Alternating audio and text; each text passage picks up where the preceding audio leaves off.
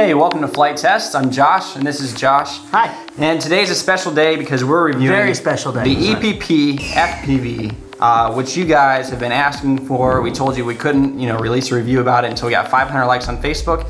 But you guys, you just hit a home run. I mean, you really, you scored a slam dunk. Uh, Thank you for it was like a hole in one. Uh, you guys really, you really scored a touchdown with this. So uh, we really appreciate it. So today is the day. Well, Josh, what's the first thing you notice about this plane?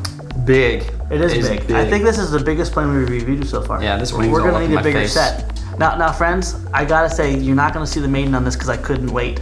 Uh, basically, the second we got this thing together, we went out and we had a ball with it. And I gotta say, it is a ball. For anyone out there that wants to get into their first FPV plane, I would highly recommend this being the first one. Not only is it EPP, which means it's pretty much indestructible, and besides this one being EPP, this one truly is probably indestructible. Well, we'll see. Um, the payload on this thing is amazing. Uh, the way they designed this is that you're to need a massive amount of nose weight in order to balance this thing out. And they did that on purpose. So basically, you can put big batteries and also lots of radio equipment up front there. Um, basically, all of our control equipment is right around the CG, and all of our video equipment is up front. So you have a nice long space between the two where you can uh, put your radios in there. A lot of people like to separate their control uh, radios with their video transmitting uh, equipment as far as possible, and this gives you ample room for both. I'll tell you what, this plane comes basically as the airplane only. It does not come with the servos, the receiver, the battery, um, all that you need to put in yourself there. So Sold separately. All sold separately. Actually, it's an ARF. ARF! ARF! Basically, let's go through what we set it up with. We're really, really happy with this setup. You're not going to get vertical on this, but this plane is so big and uh, quite heavy, it's not going to go vertical. You're to have to put way too big of a motor on there. It's just not worth going there. But this power system did power it wonderfully. And what we got here is a 1300 kV Turnigy motor, uh, powered with the 40 amp plush and uh, from Turnigy, and all the servos throughout this whole thing. Um, each aileron has its own servo, the rudder has its own servo, elevator has its own servo. They're all HXT uh, 9 gram servos, the classic $2.69 servos that everyone knows and loves. Uh, even on our pan tilt systems, we're using the uh, 9 gram and a 5 gram. So uh, it's a really good system. And uh, Josh, if you notice here, this, Got a pusher prop. yeah, the mustache is on. The mustache prop is on on, backwards. rear. All right, let's go up to the front here. Normally, we fly this airplane here. You can hold this, Josh, with a 2200 three cell battery pack. It's not good enough. Not good enough. Not big all. enough. Not big enough. Need more. As I said before, this plane needs a ton of nose weight to fly, and they they give you that for the ability to put more weight in there. And I'll tell you what, if you put all your equipment in there and you need more weight, go with a bigger battery, and that's exactly what we did. We are flying with this incredible 5,000 milliamp Nanotech uh, three cell. I'll tell you what, friends, this is the battery pack to have with this airplane. If you're gonna order this, spend the money, get one of these. We are having so much fun flying for a good 30 minutes, and we still had juice left over. 30 minutes. 30 minutes of flying. That's like half an hour. And that, that wasn't just putzing around at, at half throttle. That was that was having some serious fun with it. Um, it gives you almost a perfect battery weight. As you can see, we have tons of gear up in the front here, everything we need, and we were still able to put this in there, and the plane balanced out beautifully.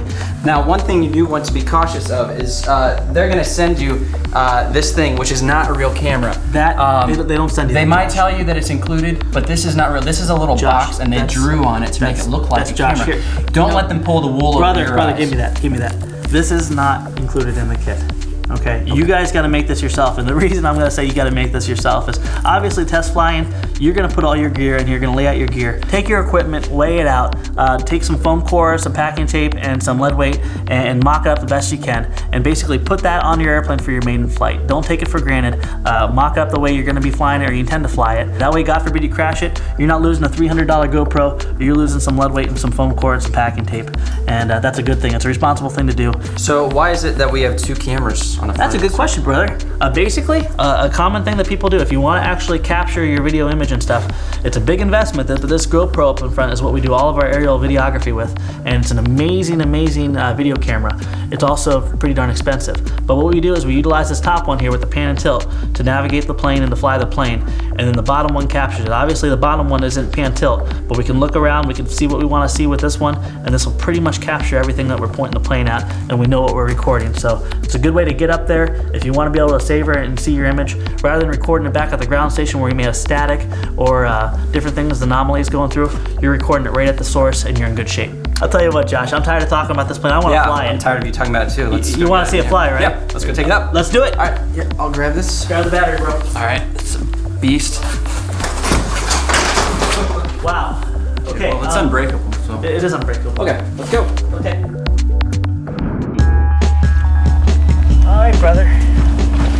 Ready for this? Ready? I am so ready for this. If you guys know, proper safe FPV flying requires a couple things. Uh, a buddy, this is my buddy. I'm his buddy. Basically what this happens is, is I'm looking at the hood, I'm looking at the goggles, I lose track of where my airplane is, or God forbid the signal goes, I have a buddy to help me out here. Last thing you wanna do is put this kind of investment in and, and not have a way to safeguard yourself. So redundancy is not gonna inhibit your fun, it's only gonna give you a simple uh, amount of security so you don't lose your investment and uh, also hit things. We got a special treat for you today and stuff. We have two receivers, and so what we're gonna do is we're gonna take my friend Josh here and we're gonna give him his first flying experience. Now, isn't that cool? Yeah. Yeah. I get to fly. We're gonna sit Josh right here, and I'm gonna throw the plane and we're gonna fly him around. What? No, I'm just kidding you. And what we're gonna do is we're gonna put these FatSharks on him. And since we have two receivers and stuff, he'll be able to see what the plane's seeing. I'll be able to fly FPV. We'll both be able to have a great time. So I can then take my attention and, and talk to you guys. He can have a good time, and then Chad can kick in whenever we need to. Wait, I'm not really flying? No, you're not really flying. You're gonna be flying in the airplane, but not literally. Okay, yeah. All right, so let's it's just slightly different than what I usually do. So let's get the sucker in the air. What do you say? All right, let's do it. All right, folks. Special man here. This is my father. He's gonna be tossing me today. So uh, go ahead. The wind's coming. Basically, crosswind. We'll just toss the crosswind. All right, three, two, one. Give me a toss, Dad. Here we go. And here we are. Now guys, I'm flying visually right now. I'm gonna go ahead and get a one mistake high. I strongly recommend you guys don't take off FPV. Uh, go up, get it trimmed out, get it in the air, get it into the wind most importantly, and then make your transition to the monitor. How do you feel, Josh? Oh, I feel great. You liking it? Yeah. Whoa. Whoa. Hey, can you take us down through the uh, the forest over there? Through the forest? Yeah, maybe You we'll know pick up what? a Our- our- squirrel. we have a, a patch antenna we're using and stuff, so the direction will have to change a little bit, but how if I uh, give you a nice view of the house? Okay. Yeah. It's a nice house. And for you guys out there, we did get permission by the neighbor to fly by his house. So uh, you always want to be respectful of your surroundings and uh, talk to people if you know you're going to be flying over their property and stuff and, and around their houses. Make sure they're comfortable with you doing so. Um, there's lots of great areas to fly. You can always find one that's going to be a real nice uh, experience for you and also not take off any of your uh, neighbors around you. And this radio signal is locked in solid. How are you feeling about it, Josh? You liking it? I feel like I'm flying. You feel like you're I just- flying? I, I've never experienced such a thing in my life. Now, one thing I'd recommend to you guys when you go to fly FPV for the first time, go on Google Earth, look at the area where you're gonna fly, study it. Look at landmarks, look at antenna towers, look at houses, look at trees, anything unique, lakes and stuff, study that. And keep in mind, because when you get off the ground for the first time, especially for your first time ever flying FPV, this is gonna be a really new experience and everything's gonna look completely different from your perspective on the ground. Let's see what she can really do. Yeah. Oh. Oh. Oh, I'm not feeling very well right now. all in all, um, don't hesitate to look into this gear uh, for your first experience. It's very, very approachable and I like it. Yeah, it's a lot of fun. I really enjoy it. Um, it's very different. It's a lot of fun for me to watch. And I think you guys would really enjoy it. So we want to thank Hobby King for sponsoring this episode. We want to thank you guys for watching.